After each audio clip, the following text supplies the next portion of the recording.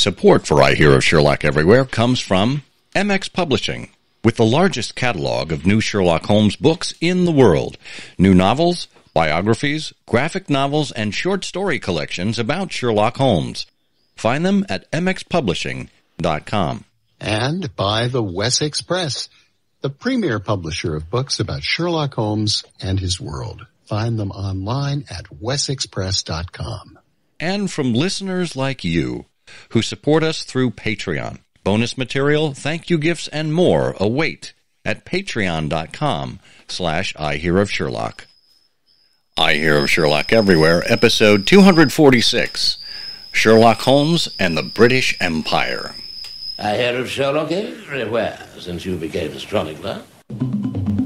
In a world where it's always 1895, comes I Hear of Sherlock Everywhere, a podcast for devotees of Mr. Sherlock Holmes, the world's first unofficial consulting detective.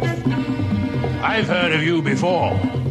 You're Holmes the meddler, Holmes the busybody, Holmes the Scotland Yard Jack in office.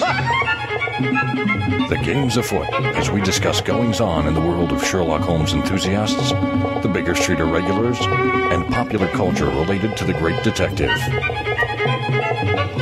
As we go to press, sensational developments have been reported.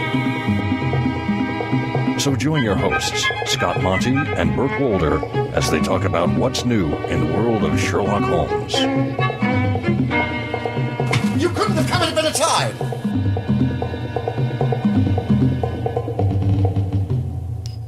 Well, hello there, and welcome once again to I Hear of Sherlock Everywhere, the first podcast for Sherlock Holmes devotees where it's always 1895.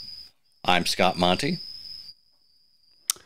I'm Burt Wolder. I hear um, a, a sort of high pitched whistling when you speak, and I it doesn't bother me. But if it's in the recording, it Ah. sounds it sounds like your hearing aids. You know what?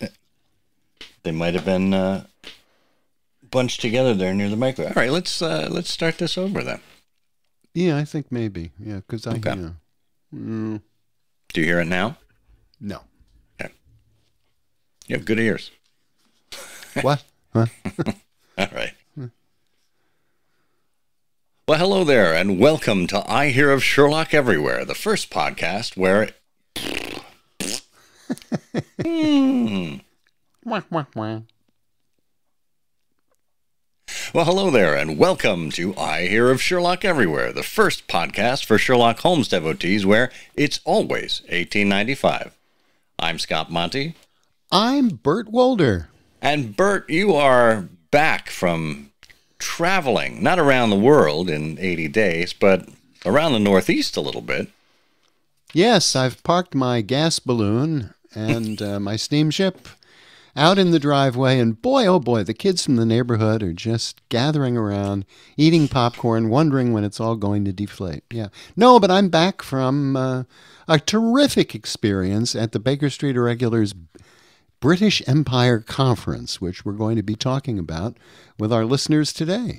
Yeah, and this is going to be fascinating not only for them, but for me too, because I actually did not attend this conference. So I'm really interested in hearing what some of the speakers had to say. And the, uh, the program, and we will have uh, a copy of the program notes, the program agenda, as part of our uh, uh, show notes here. The program just looked chock full of so many different and so many interesting uh, talks about life in the British Empire during Sherlock Holmes's time. So should be fascinating to hear. If you'd like those show notes, you can find them at ihose.co slash ihose246 using all lowercase.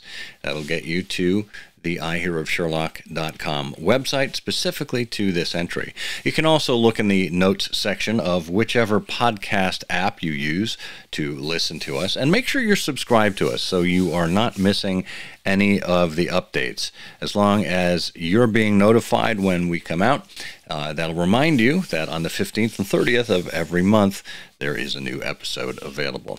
And if you want a surefire way of finding out and of getting even more information and content from us, check us out on Patreon. For as little as $1 a month, your support helps us actually do the show and all of the bells and whistles that go in behind it, but it also gives you an opportunity to get that extra content and to be notified of it. So that is in the show notes as well, our Patreon link, or just go to patreon.com slash I hear of Sherlock.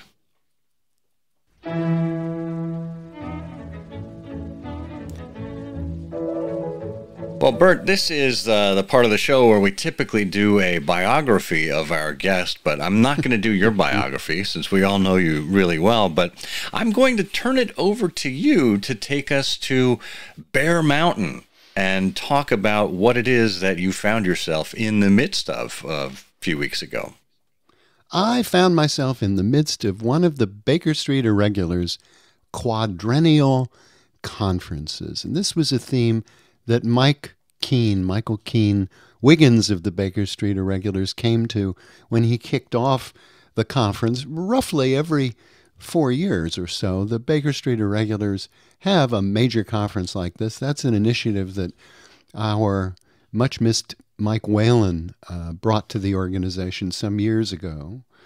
And Mike pointed out, and Ross Davies, who's the organizer for this conference, also pointed out that the idea for this conference began with Mike Whelan, but it was postponed multiple times because of the pandemic, of course. So the conference began with a heartfelt thanks to Mike, and indeed Mike's presence was really felt, I think, during the entire weekend. But Mary Ann Bradley was there, and Mike's wife, and it was just wonderful to see her there and to talk with her and to realize that all the work that she and Mike had been part of over the years had finally come through in the conference.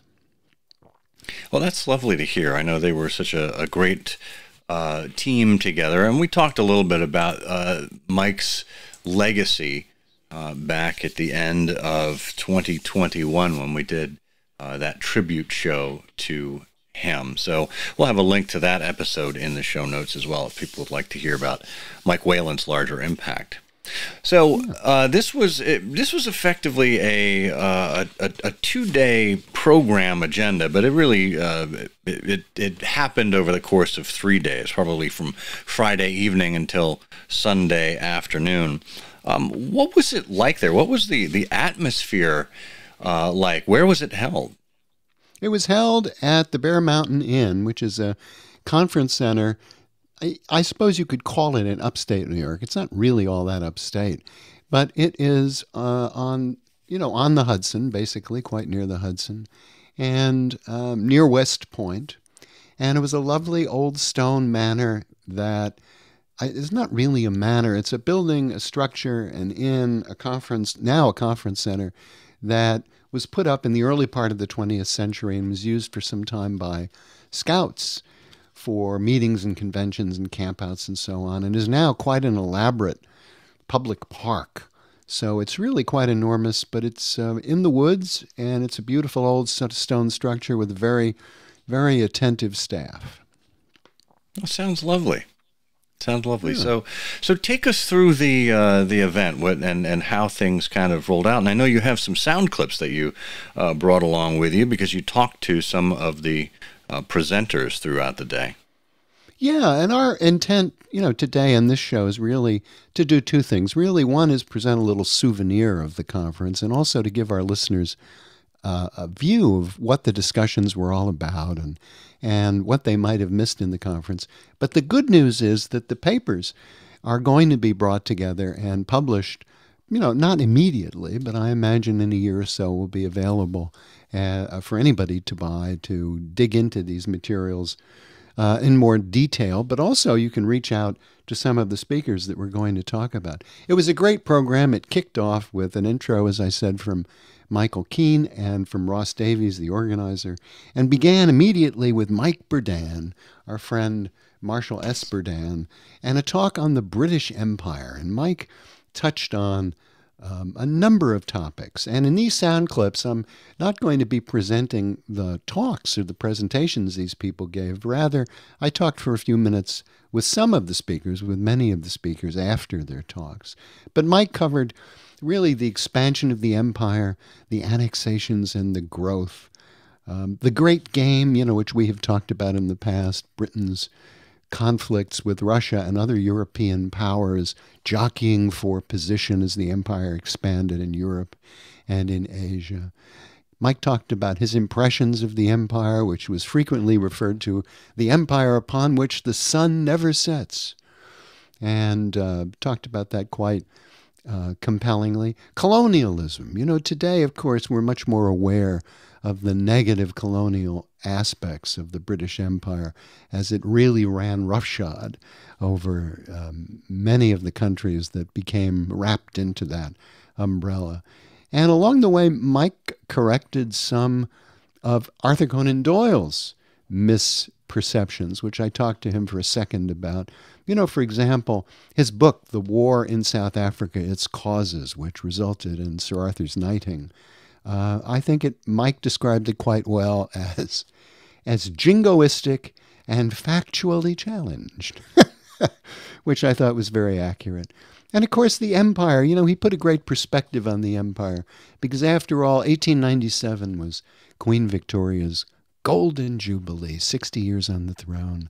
But about 20 years later, 20, 30 years later, the glorious empire, the empire that had been a, a factor for multiple centuries, you know, it was pretty much all gone.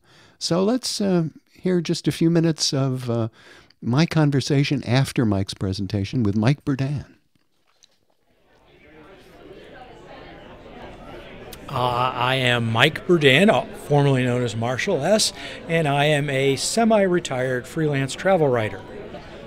I lived myself in Hong Kong for three years, so I did get to see this kind of empire at work.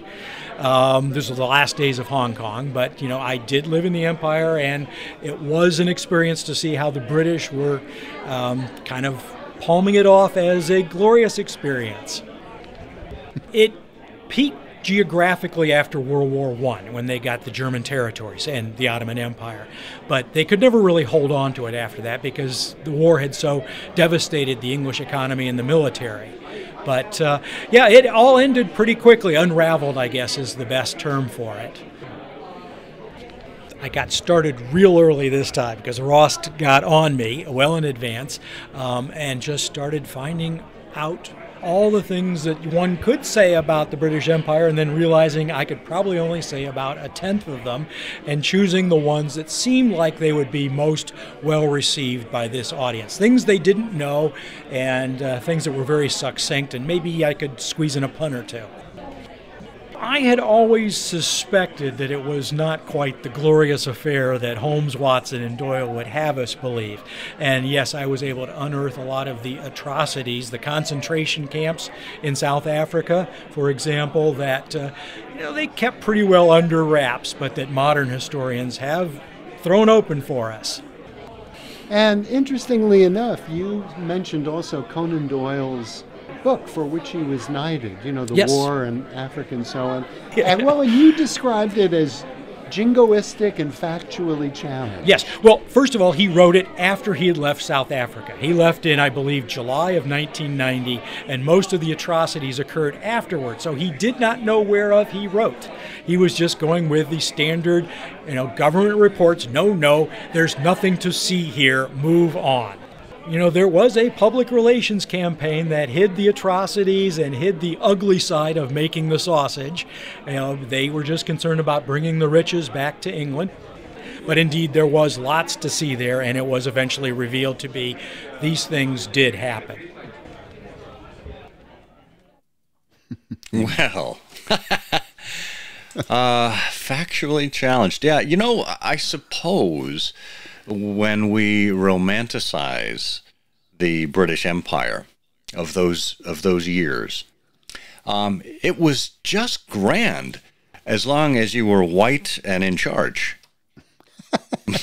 yeah, I think that's very fair. It's a good summary. Yeah.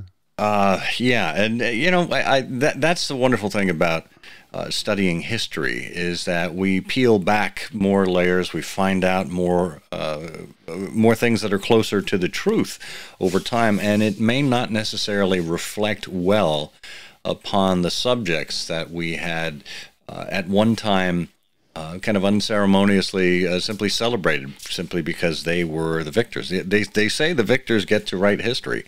And I guess this is the uh, perfect example of that. yeah.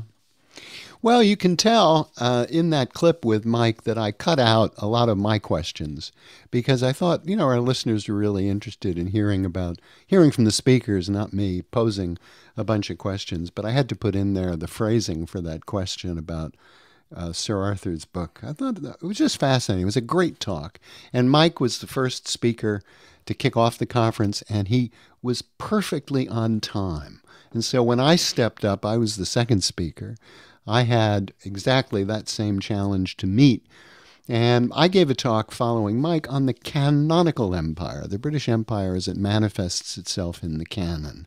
And what I talked about really were was in sort of three phases. The the first phase was Holmes, Watson, and the Empire. What were their personal experiences of the empire? And I reviewed some of the cases that uh, Holmes came across that were characteristic of the empire and resulted in problems and issues that Sherlock Holmes had to deal with.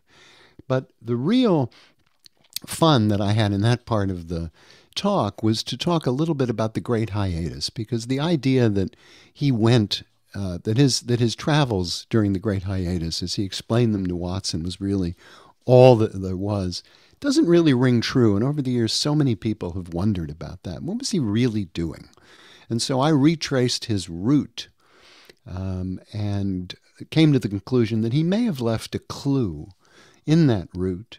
And from from all that, which was a highly sort of visual part of my talk, I came to the conclusion that what he was really doing was advising Mycroft and the British government about Russia leading down to the great game, around, all around the importance of Tibet.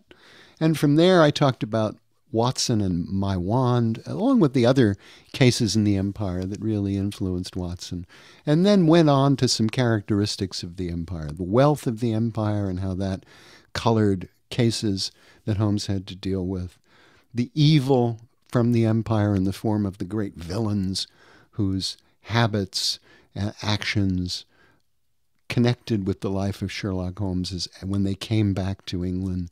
The death and disease that Holmes encountered that had its origins in the empire. And then the redemptive character of the empire. You know, we have characters in the Sherlock Holmes canon like Gilchrist in The Three Students who go off to South Africa, off to Rhodesia, and characters who come back too, who who um, have matured, whose character's been improved by their experience in the empire.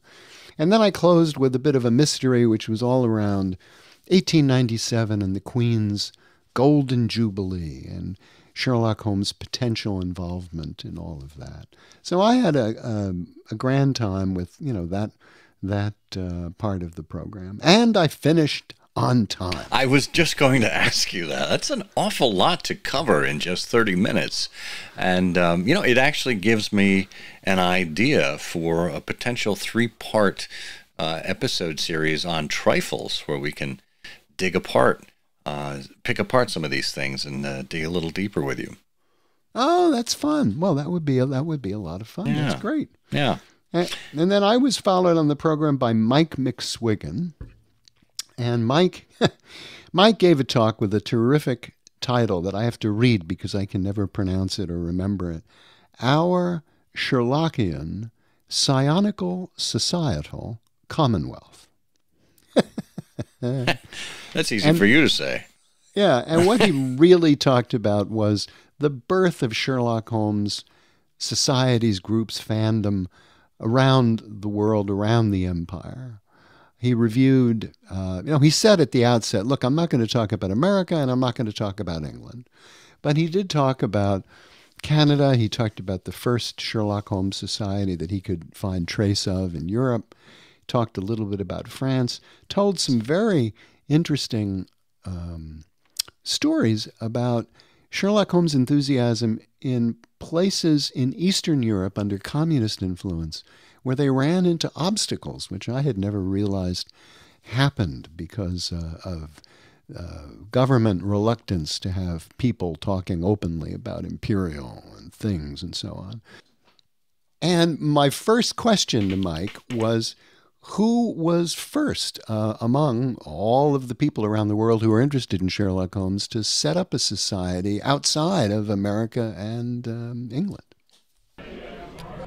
Really looks likely that the Germans were first out of the gate with a Sherlockian group, although that's long gone. I didn't realize they were first. I'm Mike McSwiggin. Uh, in boring normal life, I'm a pharmacist, but in much more fun Sherlockian life, uh, I edit the chapter of Sherlockian societies for the Baker Street Almanac, and also, along with Stephen Rusty Mason, uh, put together the Sherlockian Society world map for the Beacon Society. The talk was originally going to be Mike Whelan and myself, and it was going to actually be a little bit different. It was it started out as how not so much the groups, but just Sher- Sherlock Holmes took hold in each country. And then with his passing, uh, uh, Marianne, uh, his widow, came on board, and we kind of shifted it more to really the groups themselves. And since she knows everyone in the Sherlockian world and has been to many of these countries, she was able to reach out with her amazing Rolodex and help get us lots of great info. I, I made some contacts too, thanks to the indexes that I maintain. Uh, I know a few too, but these are all places I haven't been to. And then also, there are great books put out by the BSI, uh, put out by uh, the Germans and a few other groups. There's some good books on uh, France and uh, Japan and got that all together. And then when I felt like something was missing, I just reached out and not surprisingly, Sherlockians like to talk about Sherlockians, so I can usually get good info. Really looks likely that the Germans were first out of the gate with a Sherlockian group, although that's long gone.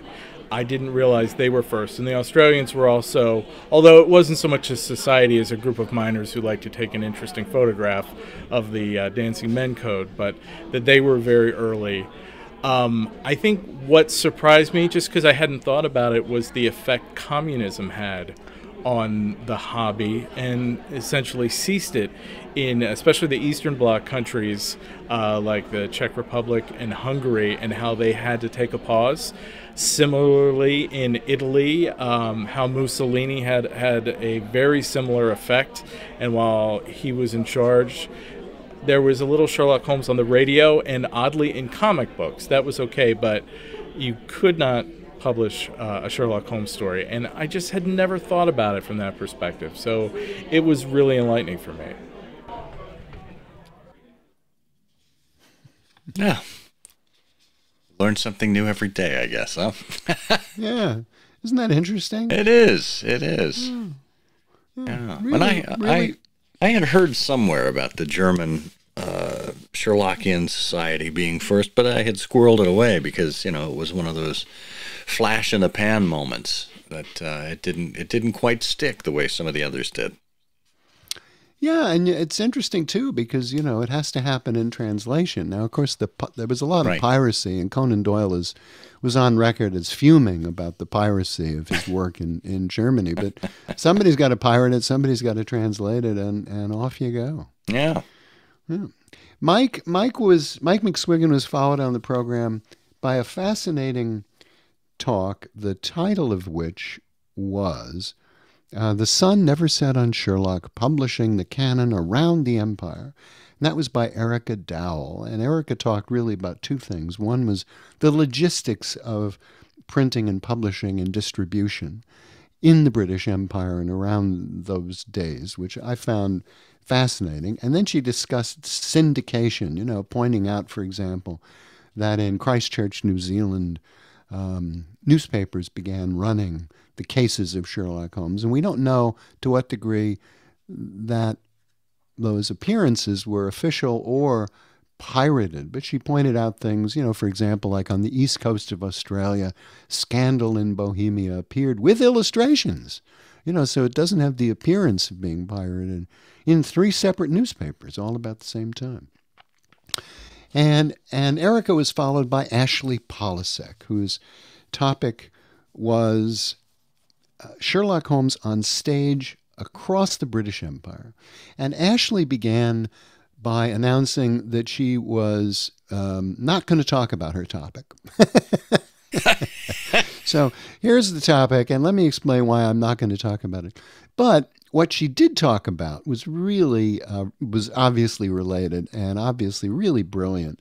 Uh, she talked about again the great hiatus. You know, if Holmes is traveling around in that time across the British Empire, um, in close contact with and, and traveling close to, and in some cases in places like India and Egypt and Gibraltar, could he have earned some of the money he needed to keep traveling and maintained his anonymity by becoming an actor in some of those countries?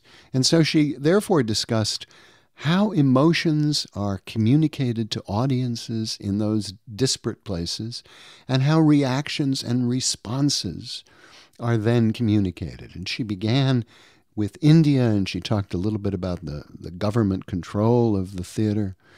For example, it was it was not possible in India. I didn't think about this, but it makes perfect sense. Um, to put on stage productions that would be a protest against colonial rule. Then she turned to Egypt and she had some fascinating things to say about opera in Egypt. Then she talked also about Gibraltar. So I had a fun time after uh, her presentation, just sort of talking with her about her research and what she thought about all of this and what she's currently doing in the theater. I'm Ashley Polasek, and I do so many things, it's hard to describe. But right now, I work as the executive director of the Ken Ludwig Company, which more or less means that as far as Ken, the playwright, is concerned, I do everything for him but write the plays. I came to this uh, cold. I came to this topic cold. So I originally started to write a paper that was more traditionally in the lines of what I usually do, which is looking at adaptations of Sherlock Holmes.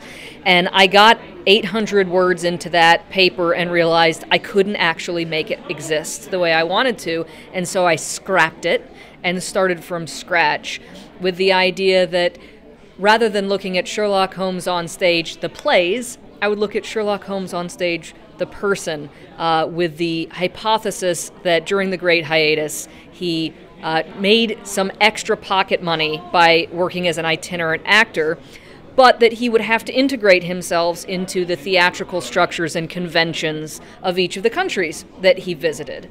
So, uh, number one was in India, which uh, I looked at a little bit uh, from the perspective of what vocabulary he would have to learn, the way that our vocabulary in sort of European dramatics originates a lar- in a large way from Aristotle's Poetics.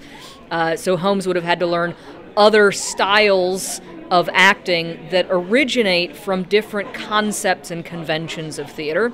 Uh, and also the joy of thinking about the dancing that he would be required to do, which is essential to Indian drama. And then moving into Egypt, uh, Egypt became such a hybridized culture in terms of its arts, particularly around the time in the decades after the opening of the Suez Canal uh, in 1869. So there, uh, the hybrid style was uh, operetta, where the uh, European dramatic style that he wanted, he would have brought in as an actor, was made acceptable to the locals by incorporating local music. And so, dancing in India, singing in Egypt, and then through Gibraltar, which had been a long time British colony, much longer, uh, 1713. Uh, there, it was hampered in terms of the arts by lack of space. It's four square miles. So, what he would have been doing there is uh, street performance, and their style of performance there that was very popular right at the end of the 19th century was zarzuela, which included not singing and dancing only, but also comedy. I had to learn all of it from scratch, just the way he would have had to, which kind of made me happy. Uh, and it, it mirrors in some ways the career that I'm moving into now, which is I've entered into a sector I don't understand at all. And for some strange reason, I've been plopped in at the very top level of it, and I just have to figure it out. So uh, I'll give you an example. I've been working on uh, an opera for a really, really good opera company in uh, in New York, in Cooperstown. It just premiered a week and a half ago.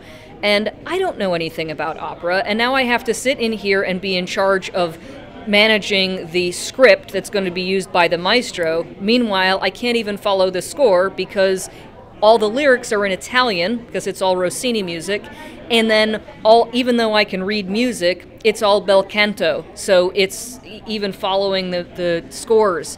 So I have kind of no idea what I'm doing and flying by the seat of my pants, which is what Holmes would have had to do. So that is how I approached my research.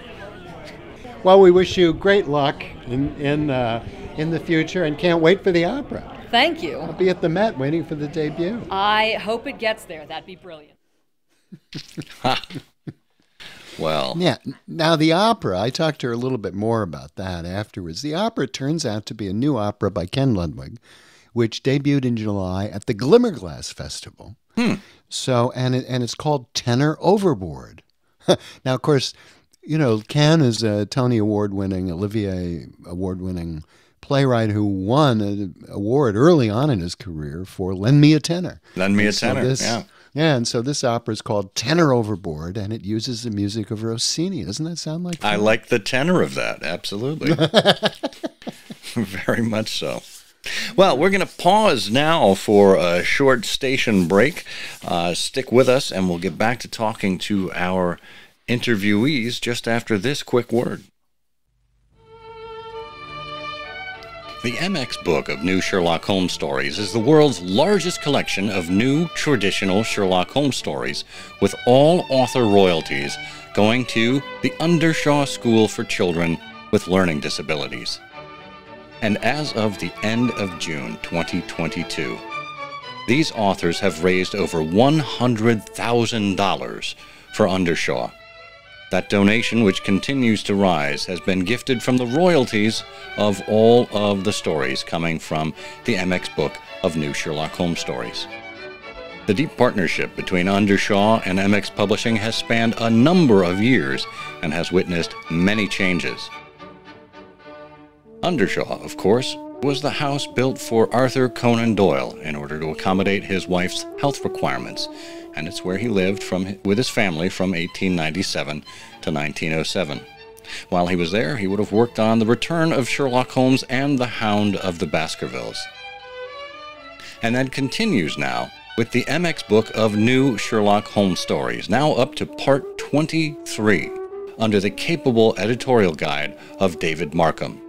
Congratulations to our friends at MX Publishing on reaching the $100,000 mark in their support of Undershaw. As you continue to show interest in the MX book of new Sherlock Holmes stories, MX Publishing will continue to be able to support Undershaw and all that it offers, those beacons of the future. Check out the MX book of new Sherlock Holmes stories at mxpublishing.com.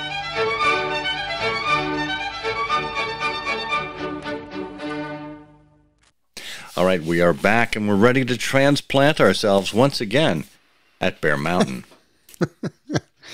well, we had a great talk following Ashley's by Julia Carlson Rosenblatt. And of course, Julia uh, has such a long experience in the cuisine of Sherlock Holmes. And, and Julia and her husband Al, and of course, and Fritz Sonnenschmidt at the Culinary Institute of America put on uh, a whole series of wonderful dinners over the years um, on Sherlock Holmes themes and at varying points. And Julie is, of course, the author of Dining with Sherlock Holmes, many other papers about cuisine in uh, Holmes's day. And her talk was entitled Canonical Taste of the Empire. And there were a couple of really fast, well, there's a lot of fascinating things in Julia's talk. One, she talked about the British use of spices.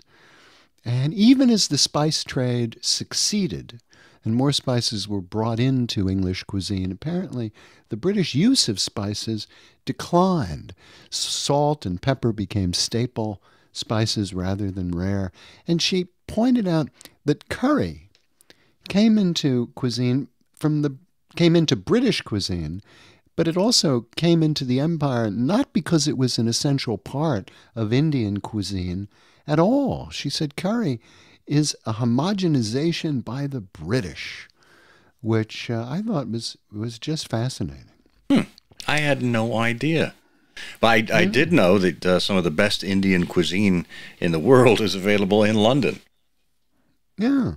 And I wonder, you know, how much of that is uh, really authentic Indian cuisine or sort of more homogenized Indian cuisine. Yeah.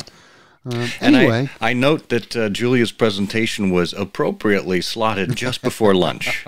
yes. Yes, yes. And lunch was very good, but it didn't quite live up, I don't think, to Julia's uh, presentation. Uh, but it was really satisfying nonetheless. After lunch, we had a fascinating talk by someone new to the Sherlockian sphere, David Allen Richards. And he spoke on Kipling, Doyle, the canon, and empire. And I will leave David to introduce, you know, himself in the audio clip, but I will just point out that he talked with us about how Conan Doyle and Kipling connected. You know, it turns out they both shared A.P. Watt as an agent, which I never knew. And of course, um, Conan Doyle thought very highly of Kipling, called him a master. They were both members of the Athenaeum Club.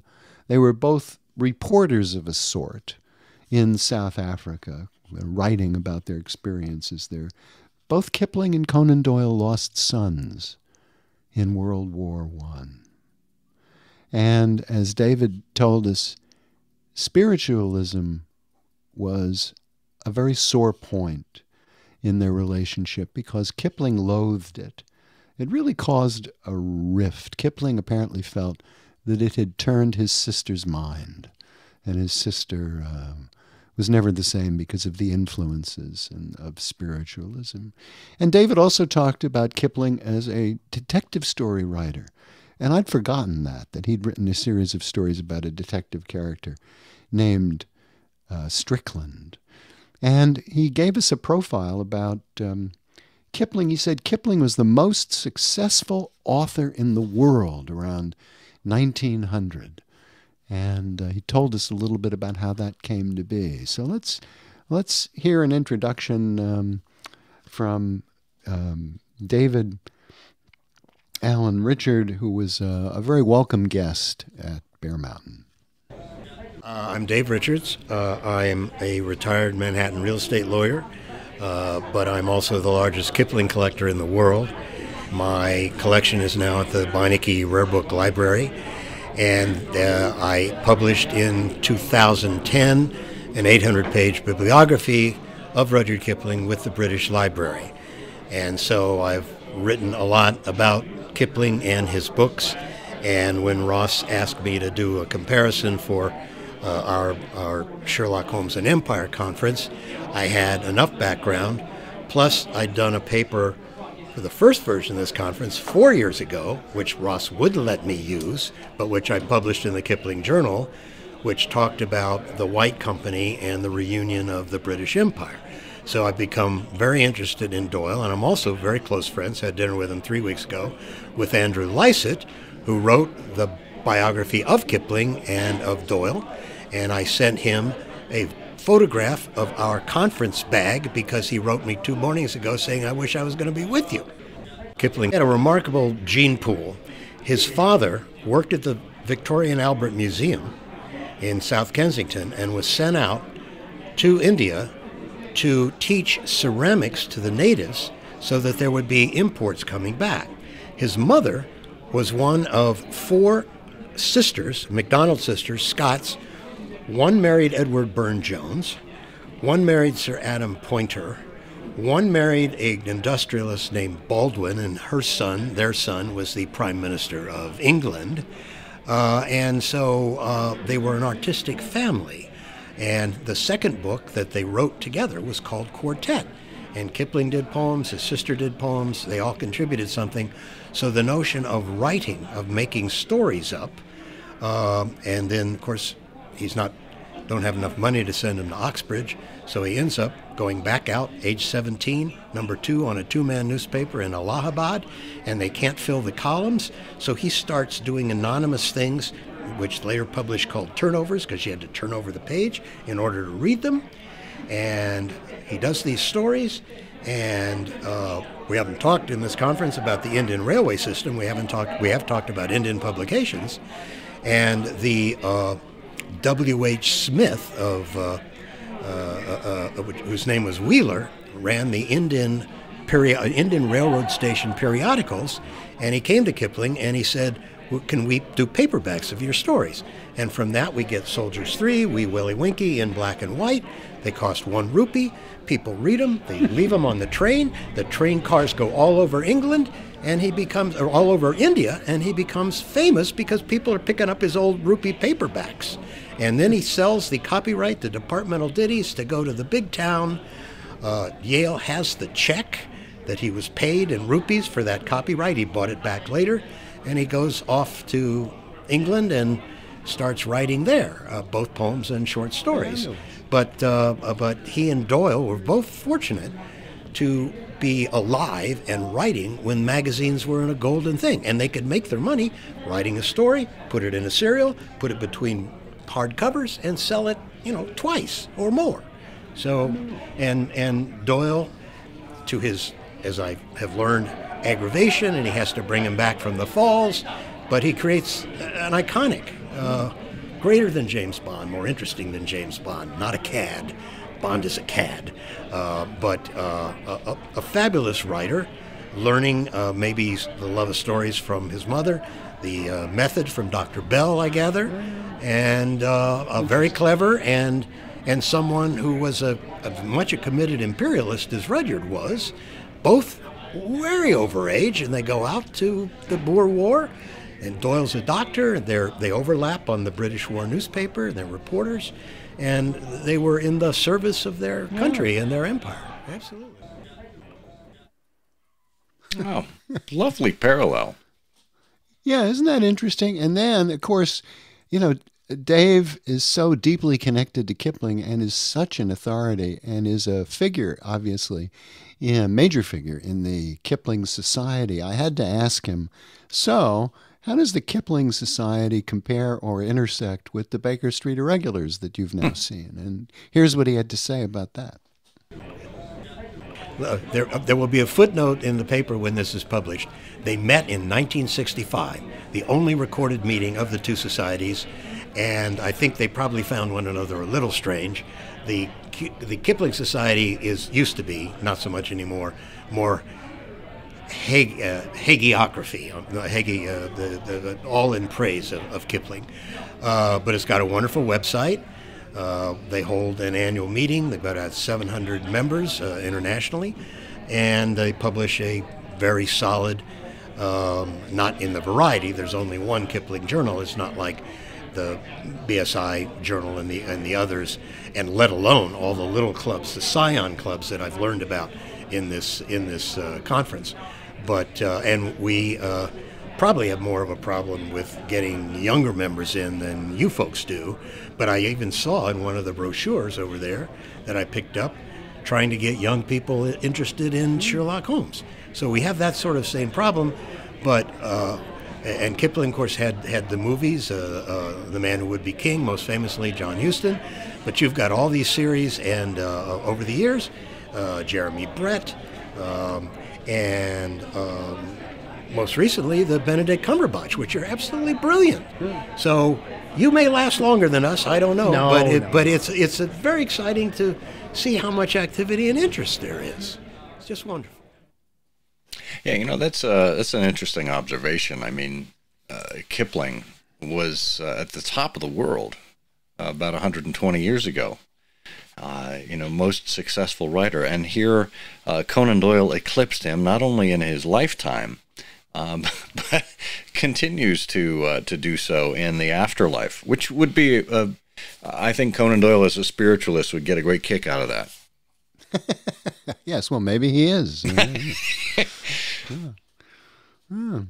Well, it was just it was terrific to have somebody like Dave there, and we could talk with him, you know, for hours more. He's he's a really interesting uh, part of the program. Dave was followed on the program by Mike Homer, who gave a fascinating story uh, paper about the Indian backstory in the Sign of Four, you know, which he entitled "We Ask You to Be Rich." And he talked a little bit about Jonathan Small and his flight to Agra during the Sepoy mutinies. And he recounted uh, Small's story and added an enormous uh, amount of information and perspective and interest around um, the environment, the culture, that scene. You know, he really, really fleshed it out. And Mike was followed on the program by Peggy, Peggy Perdue, who gave us a canonical saf- safari through British colonial Africa. And of course, and her intent was to cover the entire continent, and she did. She did. But she talked obviously about so many of the, the great milestone moments that relate to Africa. For example, the Devil's Foot. Uh, which has most, she said, of the, in terms of a percentage, most of the references to Africa in the canon are found in one way or another in the Devil's Foot. Sterndale, of course, an archetype British character, an explorer. And she addressed very successfully some of Arthur Conan Doyle's comparative anatomy comments about uh, the various races in the canon. I thought diplomatically but firmly. And uh, it was just great fun to talk to Peggy. I'm Peggy Perdue, and I'm a librarian at the Toronto Public Library. You know, when you read these stories, there's a lot of little things that you sort of just skip over. And then when you sit down and write a paper and start doing some research, you're saying, wait a minute, that's not quite right. Or, or oh my goodness, I think there might be a little bit of fiction in these stories. Um, so, so yes, there were there were a few things. It was um, I enjoyed researching it very much, and um, you know I was certainly honored to uh, present it at the the conference you know, I, I wouldn't like to pick specifically on poor old Sir Arthur, but um, it, we do find that in the Victorian era, there really was um, a tendency to use comparative anatomy to um, to support uh, specious uh, theories about um, race and class. And we did, uh, unfortunately, there is a little bit of that. There was some di- uh, discussion uh, in Hound of the Baskervilles talking about the comparative anatomy of the Bushman and the Hottentot two words which by the way we don't say anymore. You know we, we talk instead about um, the san and the khoikhoi or the khoisan but um, and then as well uh, there is a um, there is one apparently indigenous African character in the uh, uh, the Blanched Soldier who if you recall that one you uh, it's um, he's described as, as having a you know a huge bulbous head and uh, this this this head, uh, which reminded me a little bit of Tonga, who for some reason also have a has a huge bulbous head. So there's there's really far too many people with huge bulbous heads. There's more, there's more than really we can account for through the facts. So. Uh, a bit of a mystery there. I mean, we're here for the mysteries, so that's all right. Well, um, I did one. I did some in the Arthur Conan Doyle collection, of course, at Toronto Public Library, but I also wound up using the uh, the, the, reference library's uh, history section. I read a lot about um, colonialism. I, you know, you you always learn much more um, researching these um, presentations than you can ever pass on. Uh, it's um, and uh, and the one thing I really love about uh, write, you know, writing or, or presenting Sherlockian topics is that there is literally nothing you can ever learn that you can't eventually put in a Sherlockian talk. Well, she's right about that. All roads lead to Holmes. Well, that is that sort of takes us to the end of Saturday. We had a few more talks. You know, it wasn't possible really to talk to all of the speakers because we would have a program that was probably almost as long as the conference itself. But Hartley Nathan gave a terrific talk following Peggy about Canada and the canon. He reviewed the appearances of Canada in the canon. He pointed out that Conan Doyle was frequently called upon to advise on cases in Canada, which he consistently declined. But Hartley also made a great point. He said, you know, of the entire reach and scope of the empire, it's only Canada that has never provided a villain in the canon. That's really interesting. I hadn't I hadn't considered that before. Yeah, isn't that great? And then Charlie Blankstein, our friend Charlie Blankstein, gave a terrific talk about Colonel Hayter's gun room. You know, uh, Colonel Hayter, of course, is uh, one of the people that we meet in the canon, and it is mentioned that he has a gun room. And Charlie talked about arms around the empire. Hmm. Colonel Hayter being a fine old soldier. Um, he was Watson's patient, of course, in Afghanistan. And Charlie said, You know, anybody think about that? What was in his gun room? Well, in those days, you know, you'd have trophies and weapons from his family, his own weapons. And Charlie gave a fascinating talk, illustrated talk, reviewing the differences, for example, between an 1840 percussion cap pistol, which is something that Colonel Hayter might have had, versus the Sikhs, you know, the, the people that they were fighting against, uh, and the flintlocks they would have.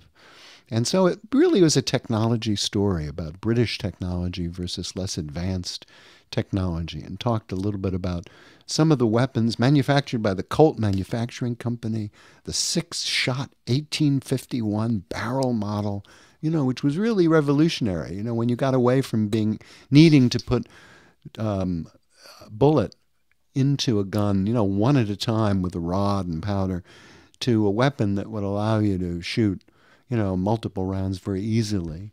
Um, so, without talking more about the contemporary relevance of that, I'll just say Charlie's talk was, uh, you know, really fascinating. And then, well, you know, he, he missed an opportunity there, Burt.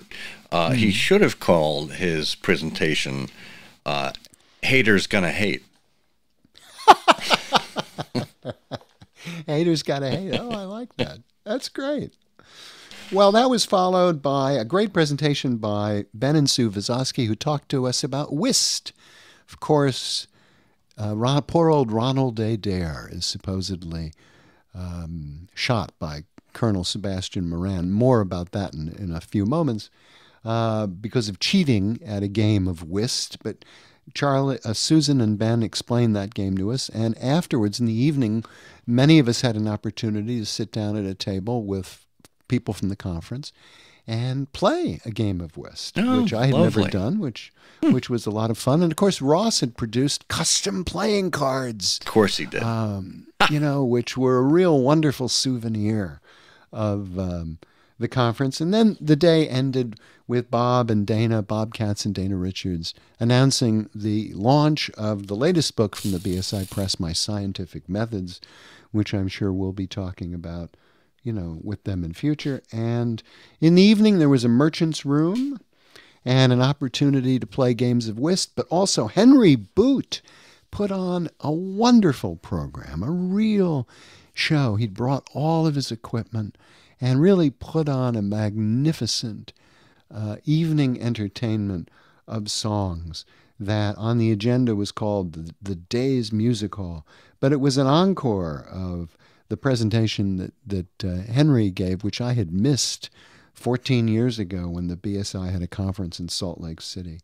And there was a cash bar there, and Henry was uh, just fabulous. And so that was the end of Saturday. Oh, superb. Superb. And Sunday was a shorter day. It opened uh, with a talk by Jim Webb about the might of empire. And he talked about the organization of the British Army, Navy, and other forces in 1895. Talked about the uniforms, the rank, the organization, how it changed. Absolutely fascinating review, West Point quality review. and he referred to West Point quite frequently, um, of the various armed forces in those days. And then Jim was followed by uh, an all too rare opportunity uh, to hear John Linsenmeyer, a great irregular former editor of the Baker Street Journal. Uh, John, whom I'd not seen in a number of years, talked about the five most important soldiers in the canon. And he talked uh, first about Watson, who, um, you know, is, is obviously someone whose military experience we owe the existence of his relationship with Sherlock Holmes in the canon. His second noted soldier in the canon was Murray, the orderly who rescued Watson and brought him to safety. His third was Major General Charles Gordon.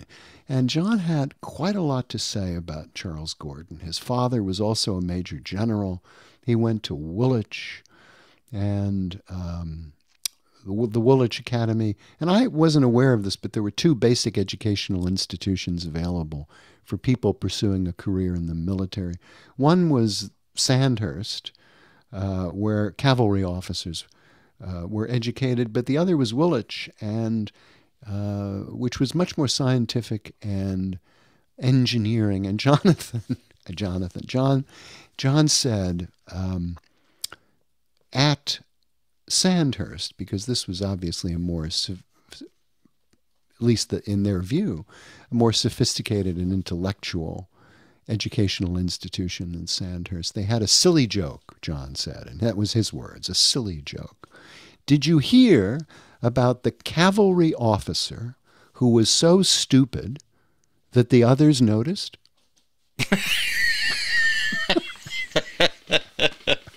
I'll give him that one. That's pretty good. Isn't that funny? That's pretty good, yeah. And and he talked about really Major General Charles Gordon, honest, uncorruptible, died less than a year after he arrived in Khartoum. And then he talked about the colonels in the canon. Um, quite a list. He said, you know, don't don't quote me here, so I'm, I should not be quoting him. But he says I've counted, I think, around 16. What a wide uh, universe of characters. But he singled out Colonel Ross, a decent, respectable colonel, the owner of Silver Blaze, and that left him with his fifth and final um, soldier in the canon.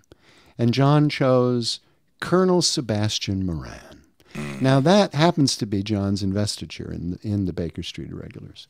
And I did not have an opportunity to talk to John, but I did have an opportunity to capture a few minutes of his closing audio about Colonel Moran. And he began by pointing out that we know canonically, it's, it's in the canon, that Colonel Moran was not hanged and was found innocent of the murder of Ronald Adair because at a time after those events, Watson tells us that Colonel Moran is still out and about.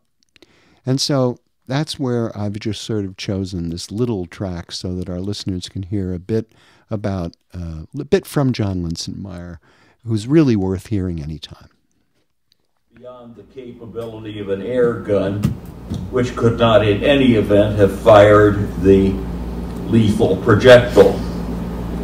It is obvious that Holmes himself viewed the murder case against the colonel as very shaky. Watson reports that at the time of Moran's arrest, Holmes told the arresting officer, Lestrade, I do not propose to appear in any way in the matter at all. To you and you only belongs the credit, Snicker, of the remarkable arrest. So there at long last, we have the exoneration of the heroic record of the canon's most distinguished soldier. One final word is necessary on the soldiers of the day. He is named nowhere in the canon, but he, along with his comrades in the Royal Navy, made the glories of high Victorian Britain possible.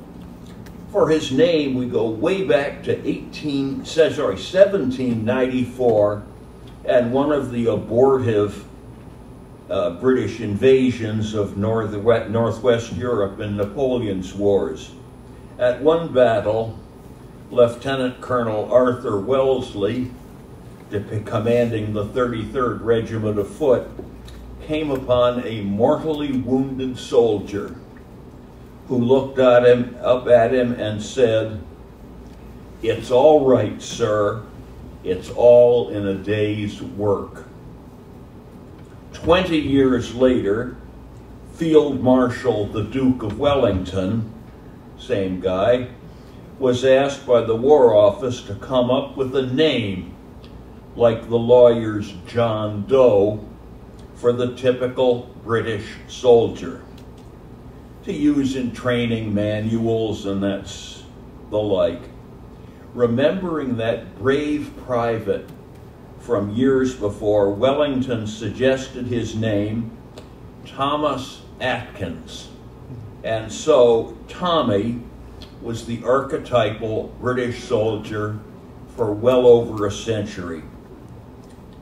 Tommy had his own bard to sing his praises, Rudyard Kipling, who wrote, I went into a public house to get a pint of beer. The publican, he up and says, we serve no redcoats here. The girls behind the bar, they laughed and giggled for to die. So I out into the street again, and to myself says I, Oh, it's Tommy this and Tommy that, and Tommy wait outside.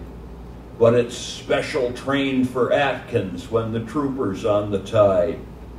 It's Tommy this and Tommy that, and chuck him out, the brute. But it's savior of his country when the guns begin to shoot. So here's a salute to the wounded soldier, the wounded surgeon, heroic orderly, Gordon Pasha, all the colonels in the canon, and to Tommy Atkins, whose courage underlay it all. Thank you.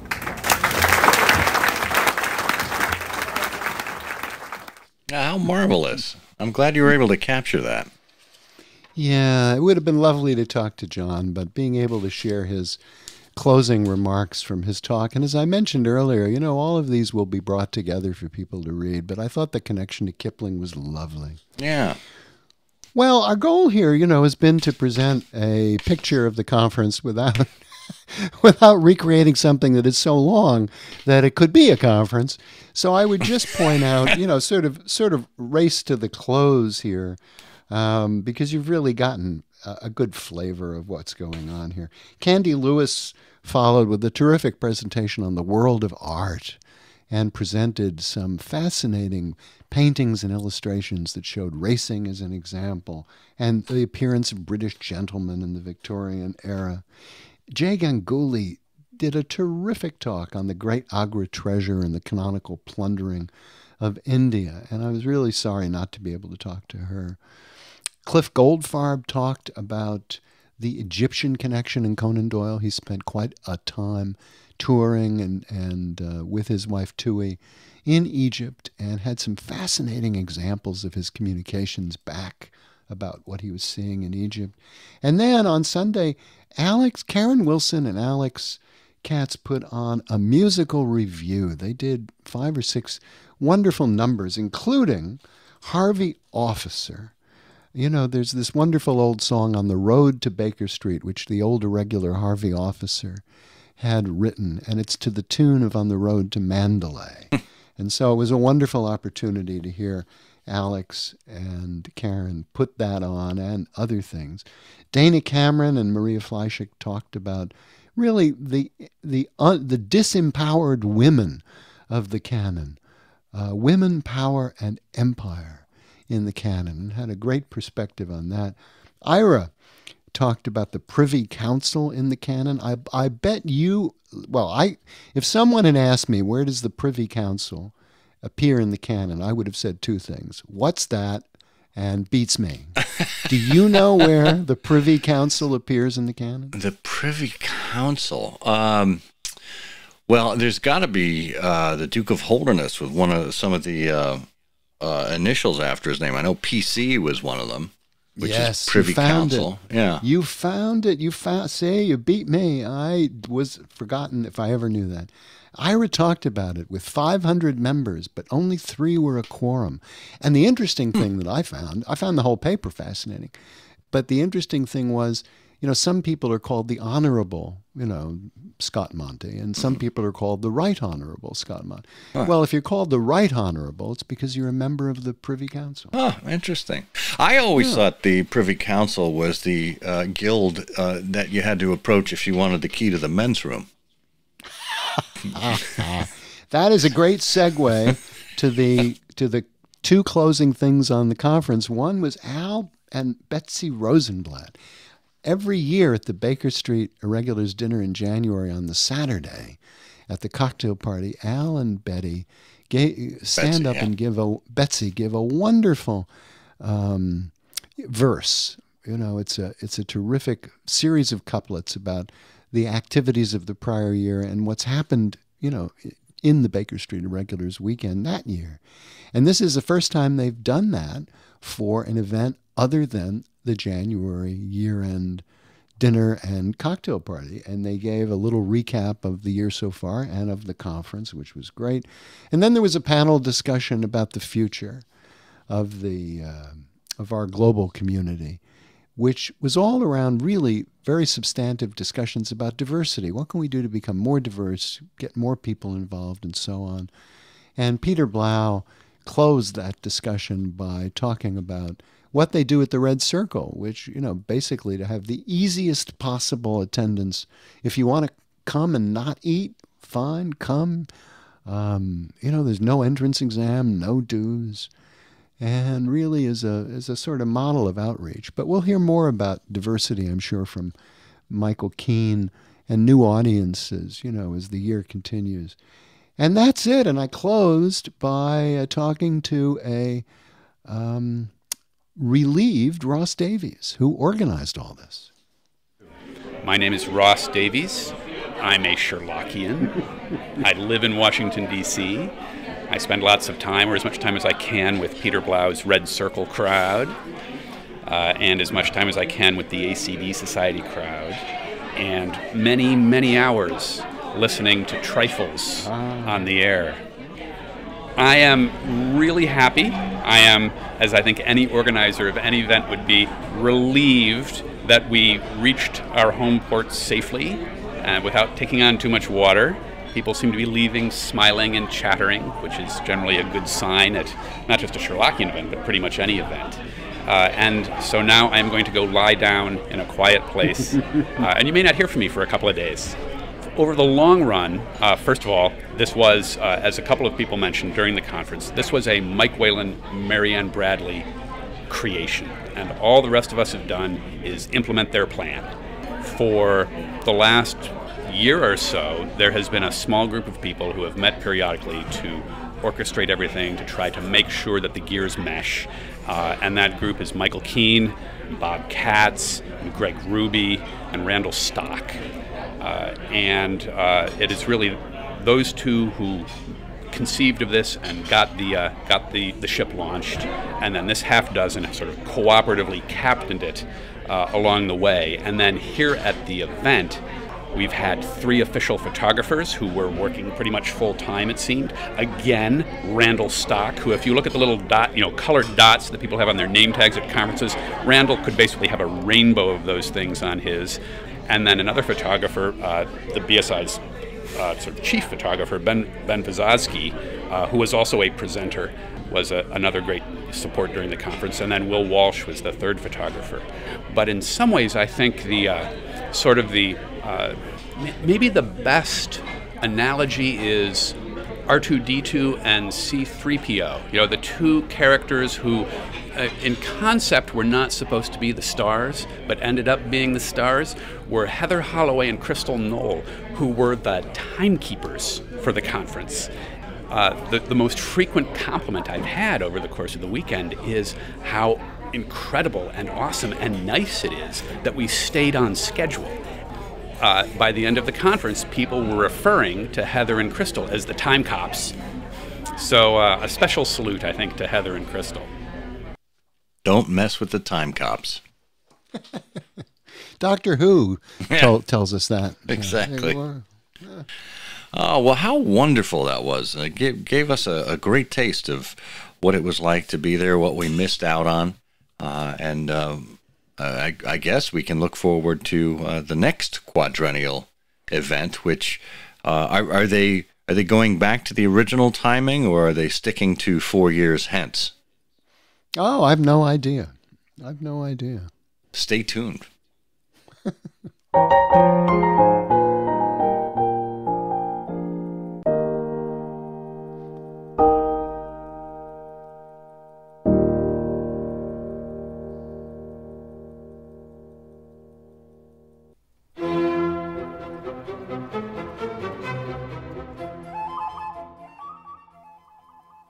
One of the great Sherlockian periodicals is back, the 2021 Sherlock Holmes Review, edited by Steve Doyle, art direction by Mark Gagan, with all new contributions from Nicholas Meyer, Robert Doherty, Frank Cho, Anne Margaret Lewis, Steve Hockensmith, Les Klinger, Jimmy Akin, and more. 118 pages about Sherlock Holmes the illustrators, community, collecting, comics, reviews, film and TV, scholarship, including new artwork, Irene Adler drawn by the inimitable Frank Cho. It looks like a book and reads like a magazine. It's the Sherlock Holmes Review. Get your first edition copy of this essential 2021 Sherlockian Annual, the all new Sherlock Holmes Review at wessexpress.com.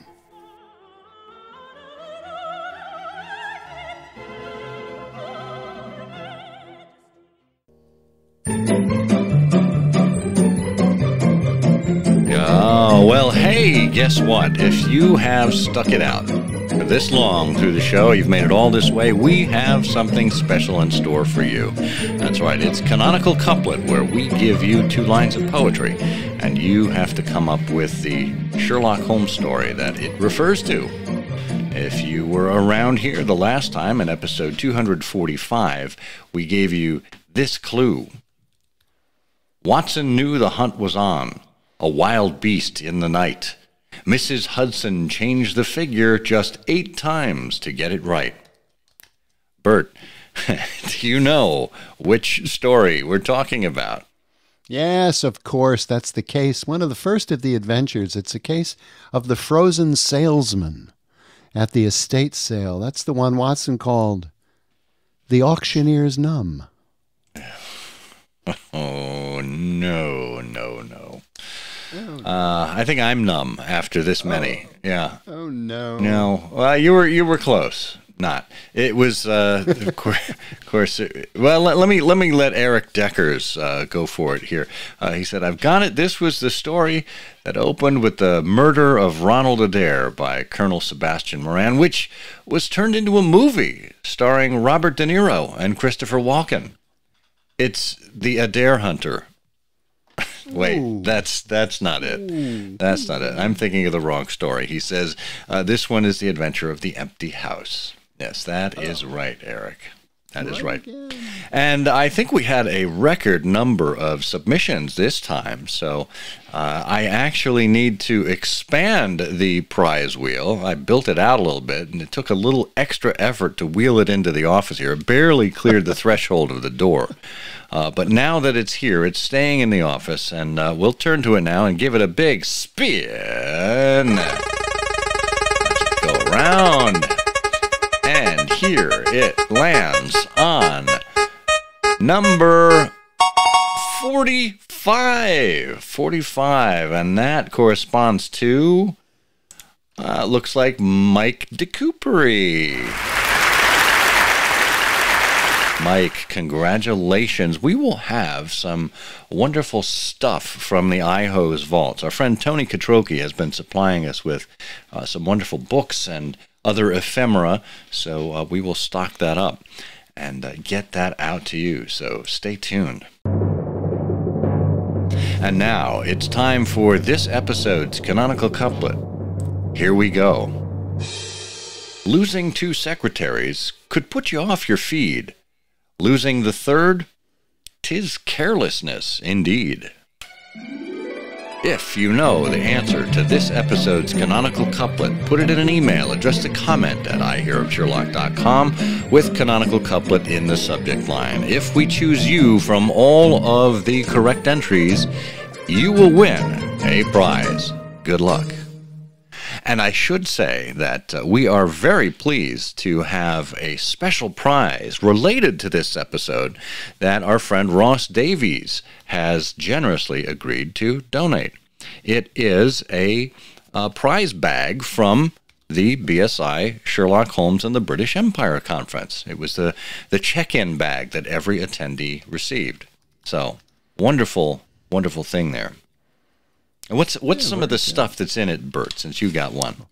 Oh well, you'll get the agenda. You'll get, but a wonderful version of the agenda that replicates how Conan Doyle sealed and uh, captured his manuscripts. So it's sort of a reproduction of a Conan Doyle manuscript in part. You'll get a deck of these commemorative playing cards, which are absolutely fabulous and you'll get i believe there's a bookmark a very large bookmark in there and uh, some other things. I don't know if ross has included some of the handouts. Probably has it, uh, that were left over from the um, the conference but it should be it's a real treat and the bag is just lovely. Excellent. Well what a great incentive to send in your answer to the canonical couplet well, I guess that just about does it for us here. We've said just about all there is we can say. Oh, so, thank goodness. Uh, this is the better left unsaid Scott Monty. And this is the quietly mumbling in the corner Burt Wolder. and together we say the, the games, games of, foot. foot. the, the game's afoot. You know, I'm afraid that in the pleasure of this conversation, I am neglecting business of importance, which awaits me elsewhere. Thank you for listening. Please be sure to join us again for the next episode of I Hear of Sherlock Everywhere, the first podcast dedicated to Sherlock Holmes. Goodbye, and good luck, and believe me to be, my dear fellow, very sincerely yours, Sherlock Holmes.